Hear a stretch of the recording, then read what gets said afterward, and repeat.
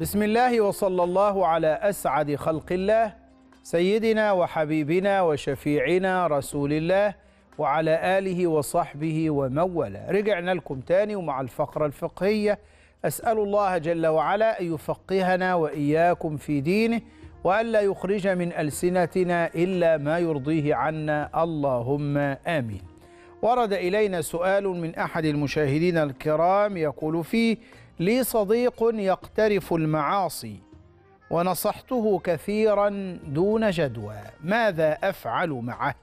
أقول وبالله التوفيق ومنه العون والمدد والسداد والرشد. يقول رسول الله صلى الله عليه وسلم الدين النصيحة. قلنا لمن يا رسول الله؟ قال لله ولكتابه ولرسوله ولأئمة المسلمين وعامتهم. لا تمنع النصيحة عنه ولا تيأس من نصحك إياه. انصح وكرر النصيحة. وكان سيدنا النبي يعمل إيه؟ لو واحد بيعمل حاجة معينة ما بين أصحابه يقول ما بال أقوام يفعلون كذا وكذا. اتكلم معاه. انصح ولا تفضح. ما تفضحوش. تقولوش أنت عملت وعملت. لا انصحه. قول له أنا بحبك في الله وأنت عارف إن أنا بحبك في الله وبنصحك لله. العمر قليل العمر قصير. مهما عمر الإنسان في الدنيا فلا بد أن يموت. وبعد الموت في سؤال وفي بعث وفي حشر ونشر وفي صراط وفي ميزان وفي جنة وفي نار. فأنا عايزك تبقى معايا في الجنة. عايز صحبتك في الجنة. عايزك تبتعد عن هذا الذنب.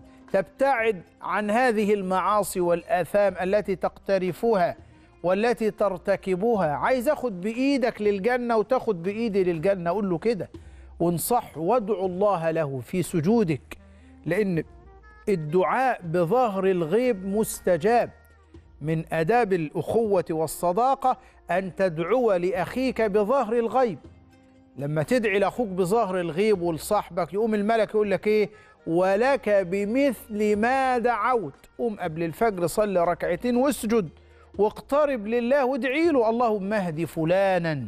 اللهم اهديه يا رب. اللهم حببه في الطاعة. اللهم اجعل قلبه هينا لينا قريبا منك. اللهم اجعله أوابا منيبا. اللهم اجعله محبا لك ولنبيك. اللهم أذقه حلاوة الأنس به. والدعوة دي والله لها العجب. لو واحد بعيد عن ربنا شوية علمه الدعاء ده. اللهم أذقني حلاوة الأنس بك. تلاقي نفسك قايم قبل الفجر كده وبتتوضأ وتتبتل بين يدي الله. وتسجد لله. وانت فرحان والتعب بيروح يقول لي أنا ما نمتش كويس.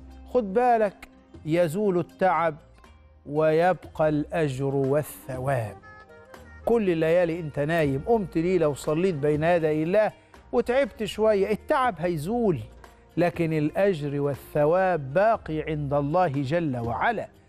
وكان من دعاء الصالحين اللهم اجعل أعضاءنا هينة لينة في طاعتك. فإحنا بننصح الأخ الكريم لا لا تمتنع عن النصيحة. انصح مرة واثنين وثلاثة. وقطعه برضه أحيانا. قول له أنا أنا مش همشي معاك لو أنت عملت الذنب ده تاني. مش هصاحبك لو انت اقترفت المعصية دي تاني عشان يبقى بمثابة الترهيب انت بترهبه وبتبعده عن الذنب وعن المعصية. وتدعو الله له وإن شاء الله يستجيب الله لك. أسأل الله جل وعلا أن يرزقنا وإياكم بصحبة صالحة وأن يبارك في أصدقائنا وأصحابنا وأن يأخذ بتلابيب قلوبنا جميعا إلى ما يرضيه عنا. اللهم آمين يا رب العالمين.